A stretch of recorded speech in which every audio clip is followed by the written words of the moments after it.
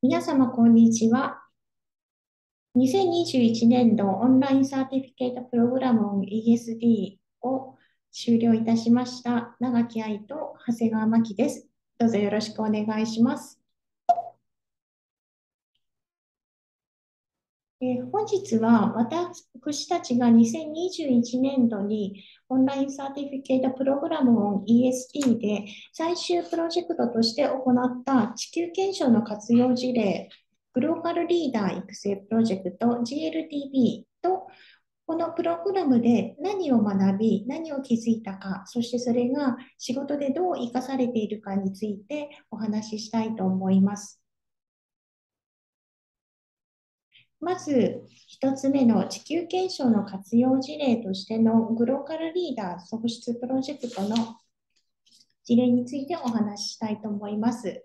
この目的は、本プロジェクトを通して参加者が1、地球検証及び SDGs を含む地球規模の視点を持ち、持続可能な社会を達成する変革の主体者となる。2、地球検証及び SDGs の価値と規範を理解する。3、地球課題を認識し、その課題を地球検証や SDGs とつなげて考える。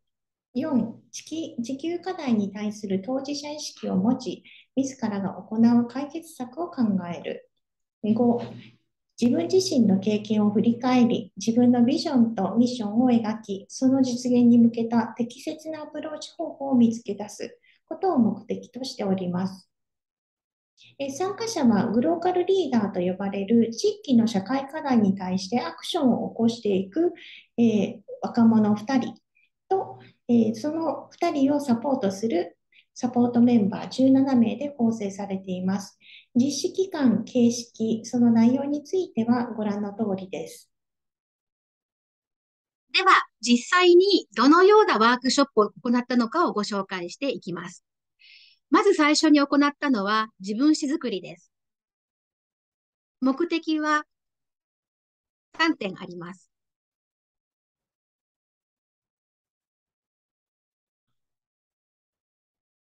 過去から現在の自分を振り返り、自己理解を深める。これからの自分をイメージし、ビジョン設計に備える。グローカルリーダー同士の相互理解と関心を高めるです。そして、えー、どのような内容かと言いますと、自分の過去から現在というものを、まず、えー、being, doing, having という3つの観点から振り返って、これらを言語化しました。それを踏まえて、望ましい自分の未来を、これも言語化言語化を、えー、して、自分史ですね。過去から未来までの自分史を作りました。そうやって作成した、えー、自分史をサポートメンバーと一緒に共有しまして、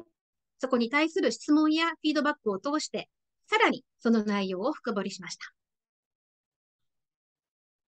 次に行ったのは、コミュニケーションカードを用いた自己理解、他者理解です。目的は、自らの特質や傾向について知る。他者との違いを知り、違いを互いに認め合うきっかけを作るの2点です。コミュニケーションカードというツールがあるんですけれども、そちらのカードを用いながら自分自身について語りました。そして、その自分に関する語りというものを通して自分自身の特質や傾向を明らかにしました。そうやって知り得た自分自身について、そして一緒に参加をしているメンバー、他者について、お互いの共通点や違いについて話し合いまして、相互理解を深めることを図りました。三つ目に行ったのは、ビジョンの策定です。目的は次の2点です。ビジョン及びミッションを明確にする。取り組みたい地域課題を見出す。具体的にはこのようなステップで行いました。えまず、ビジョン設計に必要となるその目的であったり考え方について、レクチャーを通して学びました。次に、実際に実現したい社会の姿や自分が果たす役割をグローカルリーダーが自ら描きました。でこれらのビジョンやミッションを踏まえて、自らが取り組みたい地域課題の洗い出しを行いました。そして最後に、えこれらをサポートメンバーとともに共有しました。たくさんの質問やフィードバックがありまして、これらを通してどのように改定したらいいかということを明らかにしました。ビジョンは作ったら作りっぱなしではなくて、改定をし続ける必要があります。そのため、第4回ワークショップでは、まずビジョンの改定を行い、そしてアクションプランニングの学習会というのを実施しました。目的はビジョンとミッションの改定。アクションプラン作成の準備として、ターゲットグループの設定とアプローチの仕方について学ぶの2点です。まずは、ビビジョンとミッションの最新版を、えー、共有しまして、質問やフィードバックを得て、さらなる改定のポイントを明らかにしました。アクションプランニング学習会では、マーケティングの考え方について学びました。その上で、ターゲットグループの設定とアプローチの仕方に関する演習をみんなで行いました。そして、グローカルリーダーが実際のターゲットグループを設定をして発表いたしました。最後に行ったのは、えこちらですね、アクションプランの作成なんですが、ここでグローカルリーダーの思いと地球検証 SDGs の結びつけを行いました。目的は3点です。地球検証について知り、関心を高める。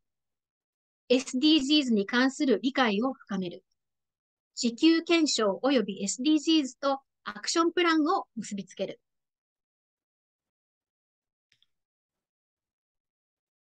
内容は、えまず、身近な題材を通して SDGs について考えました。え私たちが、えー、参加をしたオンラインコースで、えー、自分の朝食と SDGs をあの結びつけて考えるというアクティビティがあったのですが、そちらをヒントに、えこちら、この My Breakfast SDGs という活動を行いました。そして、え地球継承についてレクチャーを通して学びました。地球検証についてはしっかり理解をしていただきたかったので、事前に地球検証を共有ですね、ファイルを共有をして読んでいただいた上で参加をしていただきました。レクチャーの後でアクションプランの、えー、いろんな項目があるんですけど、その中でもビジョン、目的、主要なステークホルダーについて考えました。で、ここでアクションプランと地球検証、そして SDGs の結びつけを行いました。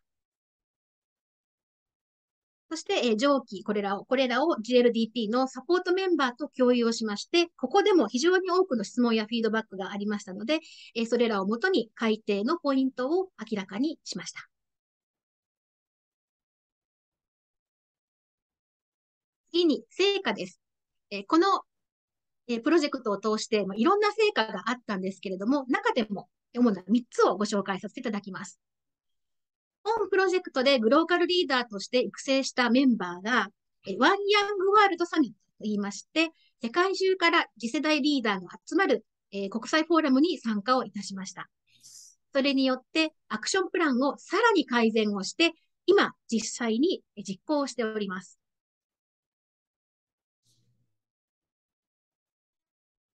そして、世界の共通言語である地球検証や SDGs とのつながりを明確にすることで、アクションプランを国際的な場でも共有しやすくなりました。共通言語がバックにあることで、アクションプランに対する理解、共感、フィードバックを得やすくなったと思います。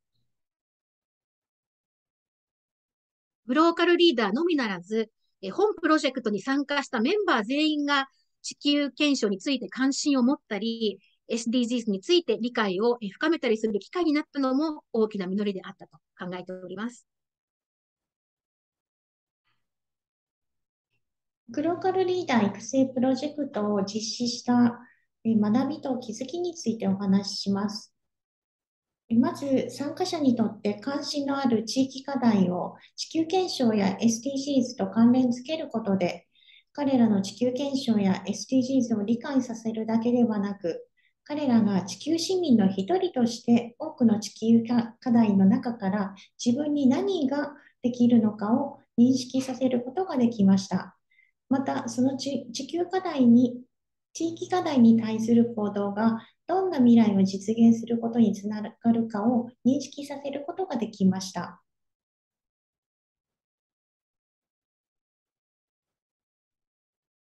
このプロジェクトでは、多様性や相互関係を重視する学習環境づくりというのを心がけました。それによって、学習者の想像力や探求心が高まったなというふうに感じています。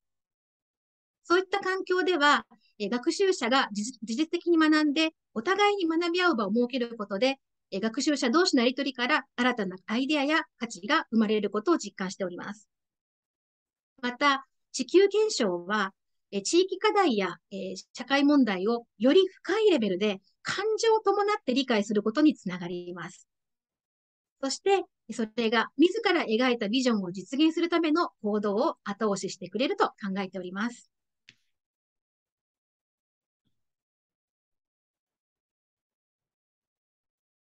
それでは、2つ目のオンラインサーティフィケートプログラムを ESD からの学び、気づきについてお話しさせていただきます。私は現在、大学生を対象に SDGs と社会問題について英語で学ぶ授業を行っています。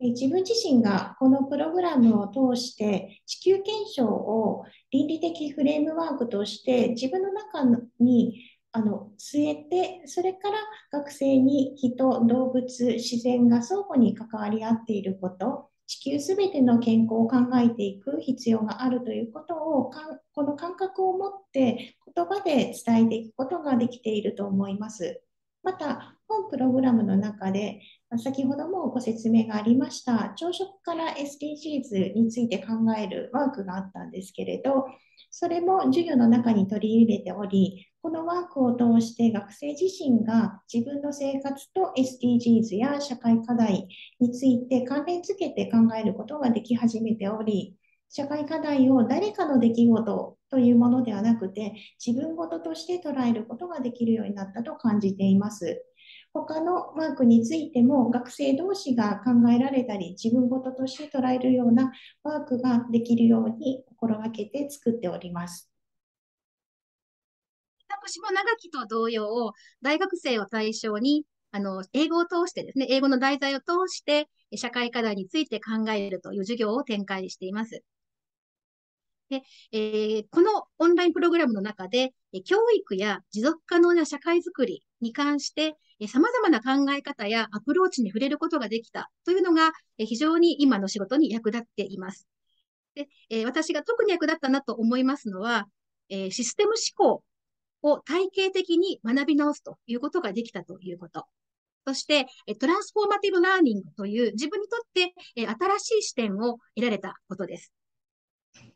で、これらの考え方というのは、学習者が物事や出来事の関連性をしっかりと意識をしたり、自分事として捉えたりするということを促してくれます。また、自分の考え方というものを振り返って、自分にとってまた新たな視点、新たな観点というものを生み出していく。そこから、えさらに行動を起こすということにつながります。えそれが非常に大きな力になってくれているんではないかというふうに思っています。また、国際的なネットワークを得られたというのも非常に大きかったかなというふうに考えています。えー、いろいろんな国からいろんな人が参加してるんですけれども、プログラム終了後も、えー、アースチャーターソーシャルネットワークいう、え、ネットワークを通じて交流をすることができます。おそらく今日、今このセミナーに参加をされている皆さんの中には、えオンラインサーティフィケートプログラムに参加をしようかな、どうしようかな、というふうに思っておられる方もいらっしゃるんではないかというふうに想像をしています。非常にしっかりと学習をさせてくださる、あの、プログラムなので、課題や読み物はなかなかたくさん多くて大変だという面はあるのですが、その分得られるものは非常に、えー、大きいと思います。ちょっとでも興味があったら、ぜひ飛び込んでみてください。本日はご清聴ありがとうございました。